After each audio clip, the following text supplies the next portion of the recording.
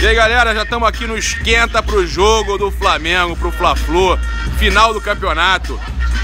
É momento da gente botar três em cima deles na hegemonia e acabar com aquele negócio de gol de barriga. A gente vai é, se vingar. Mas parar pra pensar direitinho, a gente ganhou 91 também a final em cima dele. A única final da história de Fla-Flu, sabiam disso? As outras todas eram hexagonal, octagonal, tri, é, triangular, quadrangular. A única final que teve de Fla-Flu, o Flamengo ganhou. E sabe o que eu vim falar aqui pra vocês?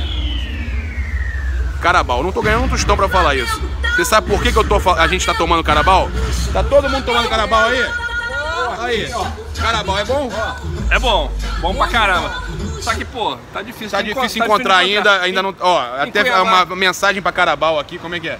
Pô, em Cuiabá, capital, do, capital aí de Mato Grosso, não, você, não, você não encontra. Aqui no Rio também é difícil de encontrar. É, é, de quatro mercados que eu fui, só em um que eu achei, pô. Então... Então, ó, a galera da Zona Sul, a gente encontrou no Super Prix, né? Super Prix.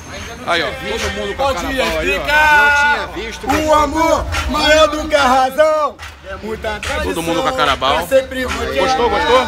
Boa pra caralho, eu conhecia. E vocês sabem, abaixa aí, abaixa o som. Ó, vocês sabem que o que o Carabal, vocês comprando Carabal, é, se passar, do, do, eu não sei exatamente o número de Carabal que precisa vender, mas se passar de um número X de Carabal vendidas, é, o Flamengo vai ter um valor a mais no patrocínio. Então, galera, compre uma que seja e bota na geladeira de casa, toma durante o jogo pra ficar ligadão.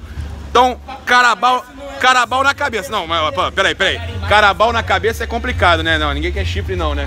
Não, mas então, mas, mas compra Carabal. Valeu.